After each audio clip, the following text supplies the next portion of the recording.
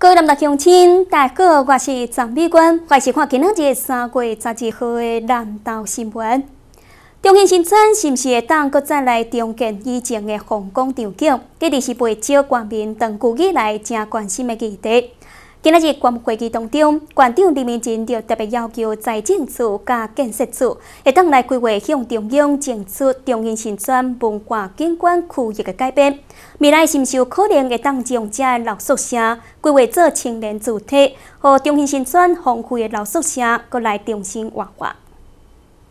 曾经风光一时的中兴新村，嘛带动了周边的发展，后备作民众拢相当期待，一旦恢复迄时阵的欢迎。但是外华中心的相关考核已经花了将近二十年时间，所受到国有土地限制，无法度有明显的进展。因此，管长里面前希望向中央争取伫中兴新村四公顷外的管有地作为青年主体点规划，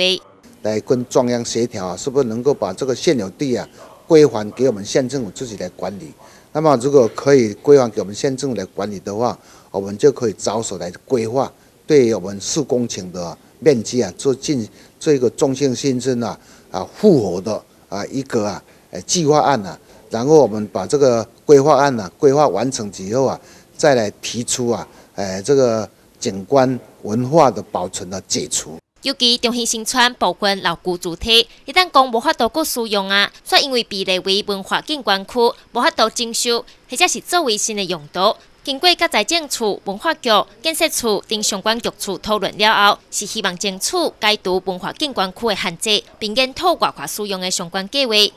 尤其现在中心新村啊，能够保留的呃景观文化保存区的部分呢，该保留就该保留，不该保留的、该解除的就要解除。但是你要解除的话，一定要细部的一个规划来审查，这些委员呢才会同意哈。啊，所以我们会先就我们县政府所有的四公顷的部分呢，我们先来做规划、做做解除的动作啊。如果是有新的呃建筑行为，我们就一定要要有配合整个中心村的一些历史文化，我们再来做一个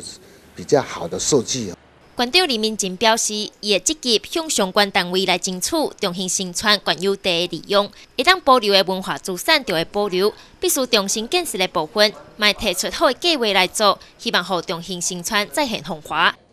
记者现时参报道。